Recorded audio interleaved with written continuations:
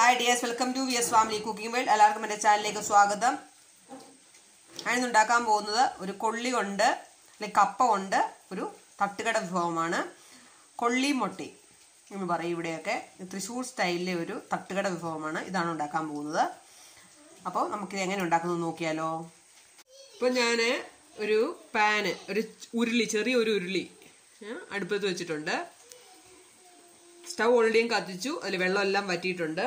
അതിലേക്ക് ഞാൻ വെളിച്ചെണ്ണ ഒഴിച്ചു കൊടുക്കാൻ പോവുകയാണ്. ഇത് വെളിച്ചെണ്ണയിലാണ് ഇത് ഇതുണ്ടാക്കുന്നത്. അപ്പം വെളിച്ചെണ്ണ ഒഴിച്ചു കൊടുത്തിട്ടുണ്ട്.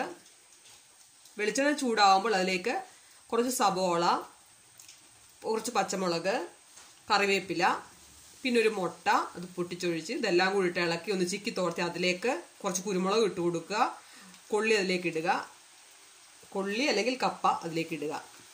അപ്പോൾ അത് ഇട്ടിട്ട് നല്ലതായിട്ട് ഇളക്കി ഒന്ന് ഡ്രൈ ആക്കി എടുക്കുക. ഇതാണ് വിഭവം നല്ല ടേസ്റ്റാണ് വെളിച്ചെണ്ണയിലാണ് ഇത് ഉണ്ടാക്കുന്നത്. അപ്പോൾ ആ കൊള്ളിയും മുട്ടയും പച്ചയായിട്ടുള്ള സബോളയും കൂടി ചേരുമ്പോൾ ഒരു വ്യത്യസ്തമായ ടേസ്റ്റാണ് ഇതിന് വരുന്നത്.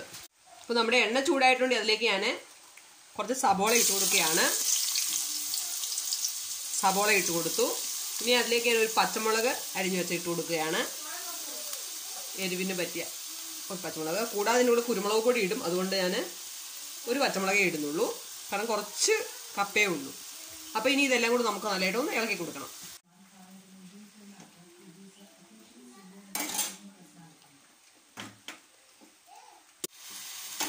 ഇനി ഇത് ഒന്ന് ഇളക്കി കൊടുക്കാം നമുക്ക്. ഈ ഉള്ളി ഒന്നും ഒത്തിരി വഴണ്ട ആവശ്യമില്ല. ജസ്റ്റ് ഒന്ന് ഇതാക്കിയാൽ മതി. ഇത് കറുകറാന്നിരിക്കണം. അപ്പോഴാണ് ഈ കൊള്ളിക്കും മുട്ടയ്ക്കും ഒരു ടേസ്റ്റ് വരുത്തുള്ളൂ. ഒരു ഡിഫറെന്റ് ടേസ്റ്റാണിത് തട്ടുകടയിലൊക്കെ അവർ പല വെളിച്ചെണ്ണയിൽ ഉണ്ടാക്കും. സാധാ ഓയിലും ഉണ്ടാക്കും. ബട്ട് വെളിച്ചെണ്ണയിൽ ഉണ്ടാക്കിയ സൂപ്പർ ടേസ്റ്റാണ് അപ്പോൾ അതുകൊണ്ട് ഞാൻ വെളിച്ചെണ്ണയിലാണ് ഉണ്ടാക്കുന്നത്. മറ്റുള്ള ഓയിലുകൾ കടകളിലൊക്കെ എപ്പോഴും എല്ലാവരും വെളിച്ചെണ്ണ തന്നെ ഉപയോഗിക്കണമെന്നില്ലല്ലോ. നമ്മുടെ ഇഷ്ടം ബട്ട് ടേസ്റ്റ് കൂടണമെങ്കിൽ വെളിച്ചെണ്ണ. അപ്പോൾ നമ്മുടെ ഉള്ളി ഒരുവിധം ഇതാവുന്നുണ്ട്. നമ്മുടെ ഉള്ളി ഒരുവിധം ആവുന്നു. അപ്പോൾ അതിലേക്ക് ഞാൻ മുട്ട ഒഴിക്കുകയാണ്.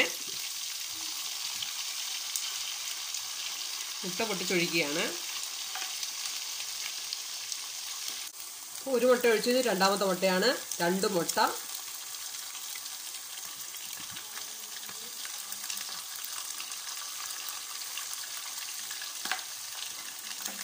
മുട്ട ഒന്ന് വേകട്ടെ.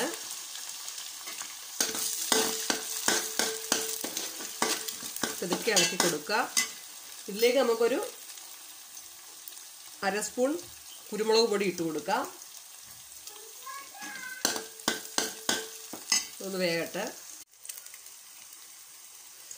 ഇതിലേക്ക് ഒരു ലൈറ്റായിട്ടൊരു കാൽ ടീസ്പൂൺ മഞ്ഞൾപ്പൊടി ഇട്ട് കൊടുക്കുകയാണ്. ഒരു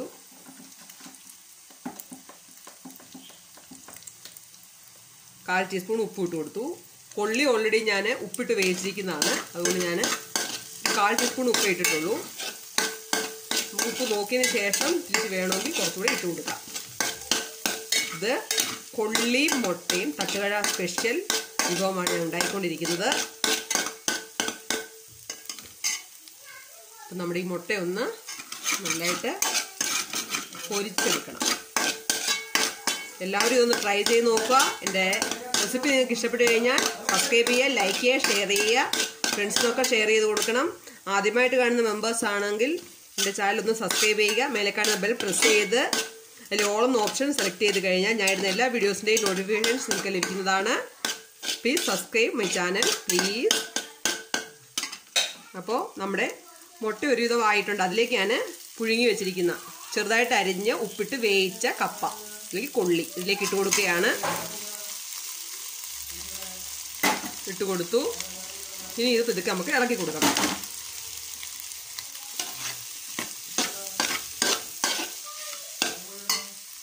നമ്മുടെ കൊള്ളിയെല്ലാം മിക്സ് ചെയ്ത് കൊടുത്തിട്ടുണ്ട്. നല്ലതായിട്ട് ഇളക്കി. നമുക്ക് ഈസിയാണ് ഇത് ഉണ്ടാക്കാൻ. ഈസി ആയിട്ട് കപ്പ പുഴുങ്ങിയിട്ട് ഈസി ആയിട്ടുണ്ടാക്കും നമ്മുടെ തൃശ്ശൂരിലൊക്കെ എവിടെ ചെന്നാലും തട്ടുകടകളിൽ കിട്ടുന്ന ഒരു സാധനമാണിത്. കൊള്ളിയും മുട്ടയും. എല്ലാവരും ഇതൊന്ന് ട്രൈ ചെയ്ത് നോക്കുക.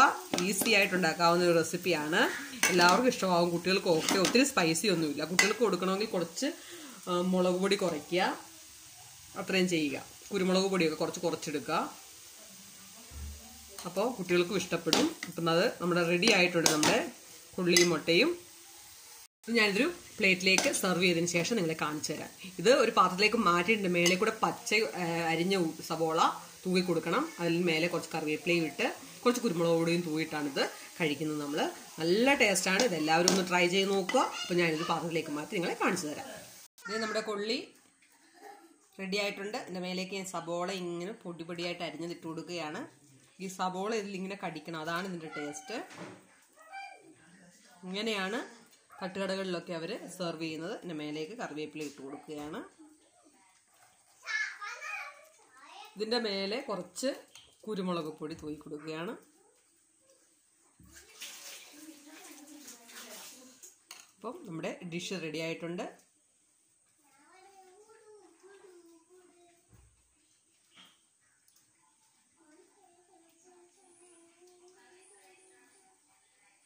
ഇതെല്ലാവരും ഒന്ന് ട്രൈ ചെയ്ത് നോക്കണം. ഇതിൽ ഞാൻ ജസ്റ്റ് ഒരു മുന്നൂറ് ഗ്രാം കപ്പ മാത്രമേ ഉള്ളൂ ഇതിൽ മുന്നൂറ് ഗ്രാം കപ്പ. അല്ലെങ്കിൽ കൊള്ളി. തൃശ്ശൂരിൽ എല്ലാവരും ഇന്ന് കപ്പയ്ക്ക് കൊള്ളി എന്നാണ് പറയുന്നത്. അതുകൊണ്ടാണ് ഇടയ്ക്ക് കൊള്ളി കൊള്ളി എന്ന് പറയുന്നത്. അപ്പം ഇതെല്ലാവരും ഒന്ന് ട്രൈ ചെയ്ത് നോക്കുക.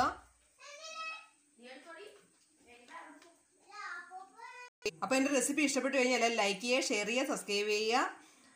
എല്ലാ ഫ്രണ്ട്സിനും ഷെയർ ചെയ്ത് കൊടുക്കുക. ഇതൊന്ന് ട്രൈ ചെയ്ത് നോക്കുക. കുട്ടികൾക്കൊക്കെ ഇഷ്ടപ്പെടും. ബട്ട് എരിവ് കുറയ്ക്കുക കുട്ടികൾക്ക് കൊടുക്കുമ്പോൾ.